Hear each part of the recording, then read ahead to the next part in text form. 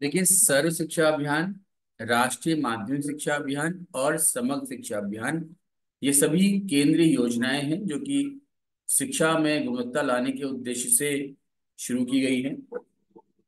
अब क्योंकि सर्व शिक्षा अभियान की जब हम बात करते हैं तो 2001 में इसको लॉन्च किया गया था और इसका जो एरिया था या कि जो क्षेत्र था, वो था आपका प्रारंभिक शिक्षा।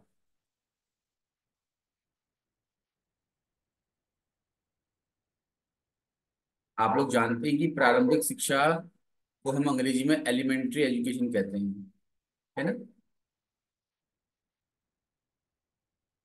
और ये कक्षा एक से लेकर के कक्षा आठ तक होता है। तो क्लास वन टू एट की जितनी एजुकेशन होती है, उसको हम एलिमेंट्री एजुकेशन कहते हैं। और सर्व शिक्षा अभियान के अंतर्गत इसके यूनिवर्सलाइजेशन की बात कही गई थी, यानी यू ई ई इस यू ई का फुल फॉर्म पहले भी डिस्कशन में आ चुका है। इसे कहते हैं हम फुल नेम इसका जो है, वो है यूनिवर्सलाइजेशन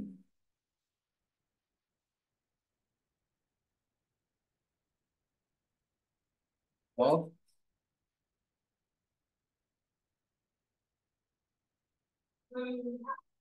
एलिमेंट्री एजुकेशन ठीक है तो ये इसका लक्ष्य था। केंद्र द्वारा ये प्रस्तावित अभियान है तो इसको हम कहते हैं कि केंद्रीय योजना है ये।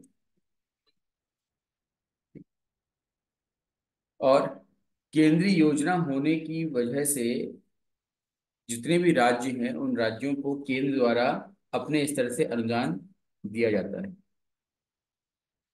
ठीक है? और अगर उस अनुदान की बात करें तो राज्य कितना पैसा खर्च करेगा?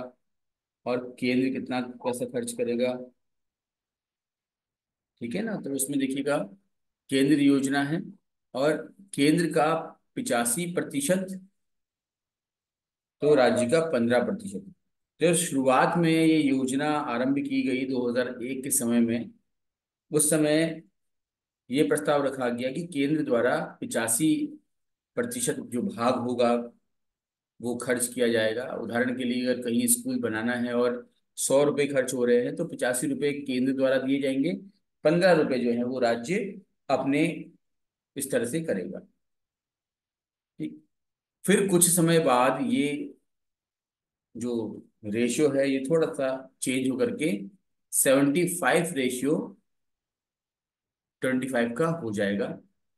शुरुआती तौर पर जहाँ पर राज्यों के पास दिक्कतें हैं विजन नहीं है, केंद्र पूरा सहयोग करना चाह रहा है तो केंद्र पिचासी प्रतिशत पैसा देगा और राज्य पंद्रह प्रतिशत। फिर उसके कुछ समय बाद केंद्र सरकार जो है या केंद्र पिछहत्तर प्रतिशत ही अनुदान देगा, पच्चीस प्रतिशत राज्य को खुद करना पड़ेगा और तत्पश्चात जो अंतिम रूप होगा उसमें पचास प्रतिशत राज्य और पचास प्रतिशत केंद्र द्वारा अनुदान किया जाएगा। यहाँ तक क्लियर है आप लोगों को? जी सर। Yes sir.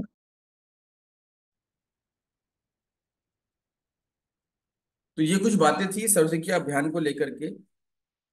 अच्छा एक और पॉइंट है इसमें आप लोग ध्यान दीजिएगा इस पॉइंट पर। इसमें ये बात भी रखी गई कि 2007 तक इस पॉइंट को विशेष आप इंपॉर्टेंट करके मार्क करिएगा। ठीक है? 2007 तक के लिए ये बात थी ना? 2007 तक पाँच वर्ष की जो प्राथमिक शिक्षा है, कक्षा एक दो, तीन, चार, पाँच, ठीक है? कि जो प्राथमिक शिक्षा है, वो सभी बच्चे पूर्ण कर चुके हों ठीक है? पहले तो लक्ष्य रखा गया कि 2001 में जब सर्व शिक्षा अभियान चलाया गया कि अधिक से अधिक बच्चों को हम इनरोल कराएँ, स्कूल में लेकर के आने का लक्ष्य रखा गया। फिर जितने बच्चे स्कूल में आ रहे हैं वो सभी बच्चे कक्षा पाँच पूरी करें। उदाहरण के लिए अगर 2002 में, क्योंकि एक में तो ये अभियान शुरू हुआ तो एडमिशन दो में ही शुरू होंगे ना। तो 2002 में आपके दस बच्चे आए किसी स्कूल में, क्लास वन में। ठीक है तो 2000 से समझने के लिए 2003 में भी ये दस बच्चे कक्षा दो में जाए। ठीक है सेकेंड क्लास में। फिर 2004 में यही बच्चे जो हैं, दस के दस बच्चे, कक्षा तीन में जाए क्लास थर्ड में जाए। फिर 2005 में यही सारे बच्चे क्लास फोर्थ में जाएँ और 2006 में ये सारे बच्चे क्या है, दस के दस कक्षा पाँच में जाए। और 2007 में ये सभी बच्चे, जिन दस बच्चों ने एडमिशन लिया था, वो सारे के सारे बच्चे कक्षा पाँच पूरी करें। तो ये 2007 का लक्ष्य है कि जितने बच्चे एडमिशन ले रहे हैं क्लास वन में वो बच्चे अपनी पाँच साल की जो एजुकेशन है प्राइमरी एजुकेशन उसको पूरा करें बीच में छोड़े ना ड्रॉप आउट ना हो जाए। आप समझ रहे हैं ना जो मैं कहना चाह रहा हूँ आपसे? यस सर जी सर ठीक है? हाँ। क्योंकि हमारे समाज में बड़ी दिक्कत होती थी पहले कि बच्चे बहुत जल्दी जल्दी क्या है कि ड्रॉप आउट कर देते थे स्कूल्स को। ना पता होगा आप लोगों को। एक मिनट का समय लूँगा। हाँ। हम्म। तो ये इस तरीके से 2007 तक पाँच साल की ये सभी बच्चे मतलब जो अपनी पढ़ाई है पूरी कर चुके हैं। ड्रॉप आउट वगैरह बीच में ना हो। साथ ही साथ यही जो लक्ष्य है, थोड़ा बड़ा करके 2010 तक रखा गया। तो 2010 तक अब खुद सोचो, जो बच्चे कक्षा पाँच पूरी कर चुके हैं, और हमारा तो लक्ष्य क्या है? सर्व शिक्षा अभियान का कक्षा एक से आठ तक का लक्ष्य है या नहीं है, बताइए। सर्व शिक्षा अभियान का जो लक्ष्य है वो क्लास वन से एट तक का है। तो क्या कक्षा पाँच पूरी करने से लक्ष्य पूरा हो जाएगा? बताइए। No sir no sir sir हाँ तो ये जो बच्चे हैं कक्षा पाँच को पास करके कक्षा सात में सॉरी 2007 में कौन सी क्लास में आएँगे? दस के दस बच्चे कहाँ आएँगे आपके? बोलिए सिक्स में आएँगे। ठीक है? इसी तरीके से 2008 में ये दस के दस बच्चे कहाँ आने चाहिए? सात में। और 2009 में ये दस के दस बच्चे आने चाहिए कौन सी क्लास में बताइए आपकी एट्थ में। तो इस तरीके से 2010 में ये पास आउट हो जाएँगे। तो 2010 तक ये सभी बच्चे जिन्होंने एनरोल किया है, वो आठ वर्ष की आरंभिक शिक्षा पूरी कर चुके हैं। आठ वर्ष की प्रारंभिक शिक्षा। और यहाँ पर क्या था? पाँच वर्ष की प्राथमिक। ठीक है प्राथमिक मतलब एक से पाँच और प्रारंभिक मतलब एक से आठ, ठीक है?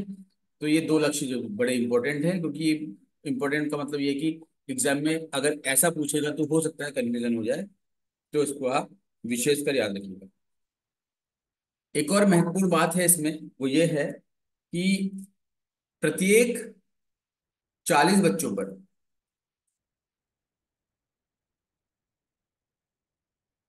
एक शिक्षक। ठीक है? इसकी सुविधा इसकी व्यवस्था होनी चाहिए। यानी कि जो टीचर स्टूडेंट रेशियो है यहाँ पर वो है फोर्टी रेशियो वन तो ये प्रश्न पूछ सकता है आपसे सर्व शिक्षा अभियान में टीचर स्टूडेंट रेशियो क्या है? तो चालीस स्टूडेंट्स पर एक टीचर होना चाहिए। याद रहेगा? जी सर एक और बात याद रखनी है आप लोग को। ये सारा डॉक्यूमेंट भी लिखा हुआ मैं अभी चलो भेज देता हूँ पहले आपको, ताकि आप लोग को ये डाउट ना हो कि सर भेजेंगे नहीं भेजेंगे। आप लोग के ग्रुप में आ गया, देख लीजिए। आ गया ना? ठीक है। सब पॉइंट लिखे हुए इसमें, कुछ ऐसा नहीं है कि नया हो। इसके बाद एक और पॉइंट ये इंपॉर्टेंट है कि शिक्षा अभियान किसके समय चलाया गया था? उस समय प्रधानमंत्री कौन थे? अटल बिहारी वाजपेयी थे। हालाँकि ये प्रश्न पूछा नहीं जाएगा। अटल बिहारी वाजपेयी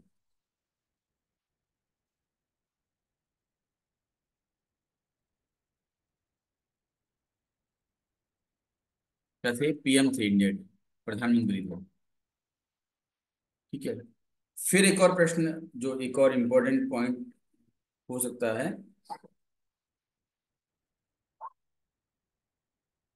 वो ये है कि अब बहुत ज़्यादा हो जाएगा अगर इसको लिखाता हूँ तो मैं, हालाँकि। ना, इतना शायद नहीं पूछेगा वो। चले फिर भी। जब ये शुरू किया गया अभियान तो उसके बाद सत्र 2002 2003 के समय में बयासी प्रतिशत बच्चों ने प्राथमिक विद्यालयों में एडमिशन लिया था। ठीक है? ऐसा, ये इम्पोर्टेंट नहीं है, इसमें इम्पोर्टेंट मार्क कर भी नहीं रहा मैं इसलिए।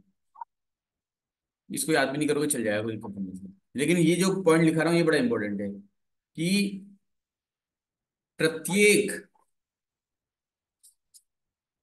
घर से एक किलोमीटर से कम दूरी पर, ये इंपोर्टेंट मार्क करना कम दूरी पर प्राथमिक विद्यालय समझ में आ रहा है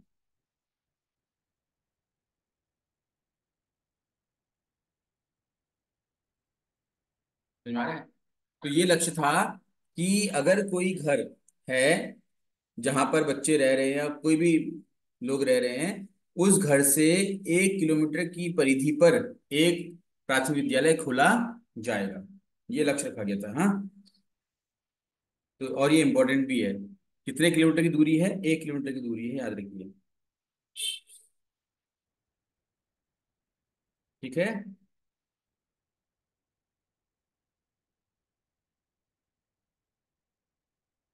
हाँ सर तो ऐसी कुछ बातें हैं जो थोड़ा इम्पोर्टेंट हो सकती हैं आप लोगों के लिए, पूछने के लिए। बाकी और भी कुछ बातें हैं, वो कुछ ये तो लिखी है, आप लोगों को इसमें पीडीएफ में मिल जाएगा। ज़्यादा डिस्कस करने की ज़रूरत नहीं है उस पर, ठीक है? इसके अलावा प्रति विद्यालय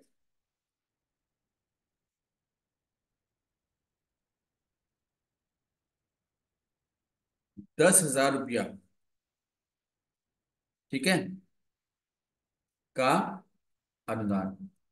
एक वर्ष में दस हज़ार रुपये स्कूल की मरम्मत, स्कूल की भौतिक आवश्यकताओं की पूर्ति आदि के लिए अनुदान दिया जाएगा। ऐसा व्यवस्था इसमें की गई है। ठीक है? और दूसरी व्यवस्था है जो विकलांग बच्चे होते हैं, इनको हम आज के डेट में सी डब्ल्यू एस एन बोलते हैं। उस समय C W S N word नहीं था तो विकलांग बोलते थे। इनके लिए बारह सौ रुपया प्रतिवर्ष ठीक है, ऐसी कुछ व्यवस्था इसमें थी तो ये है आपका सर्व शिक्षा अभियान। ठीक है, बाकी इसेंशियल नीड की बात करते हैं तो जो मिशन ब्लैक बोर्ड है, जिसके अंतर्गत एक विद्यालय में दो टीचर्स जिनमें से एक महिला टीचर होनी चाहिए। बच्चों के लिए शौचालय, जिनमें से एक बालिका शौचालय अनिवार्य होना चाहिए। बच्चों के बैठने के लिए कक्षा कक्ष की व्यवस्था, खेलने के लिए खेल का मैदान, प्रार्थना सभा, है ना? और एक कार्यालय जो ऑफ़िस के रूप में काम आएगा। और अगर कोई बच्चियाँ दूर दराज से रहने आती हैं तो उनके लिए आवासीय यानी कि हॉस्टल की व्यवस्था, ये सब मिशन ब्लैक बोर्ड का हिस्सा है। ये इसको इसमें शामिल किया गया था, क्योंकि मिशन ब्लैक बोर्ड जब पढ़ते हो तो उसमें लिखते ही हैं, इसको तो अलग से नहीं लिखवा रहा हूँ। ठीक है? ये अभी जो हमने डिस्कस किया, ये कुछ आपका सर्व शिक्षा अभियान के संबंध में है। ठीक है? बाकी और कुछ बातें जो है इसकी, जैसे अगर मुख्य केंद्र बिंदु बोलते विजन बोलते हैं तो प्रारंभिक शिक्षा की गुणवत्ता मतलब वही हम बात करें कक्षा एक से आठ तक की जो शिक्षा है, सामुदायिक एकता कम्युनिटी का सहयोग, फिर बालिका शिक्षा की बात मैंने कही है भी आपसे, विकलांग बच्चों के लिए, यानी विशेष आवश्यकता वाले बच्चों के लिए शिक्षा, वही बारह सौ प्रतिवर्ष जो देने की बात की जा रही है, और साथ ही साथ वैकल्पिक विद्यालय की बात ये ठीक है? तो इस तरीके से ये सर्वशिक्षा अभियान पर थोड़ी चर्चा थी। इंपॉर्टेंट पॉइंट्स जो है मैंने डिस्कस कर दिए आपसे, ये सारे के सारे आप लोग को याद होने चाहिए एग्ज़ाम में पूछा सकते हैं। क्लास रिज्वाइन करिएगा आप और नेक्स्ट सेशन में हम रमसा 2009 को पढ़ेंगे, ठीक है? तो जल्दी जल्दी ज्वाइन करिएगा हाँ लेट मत करना।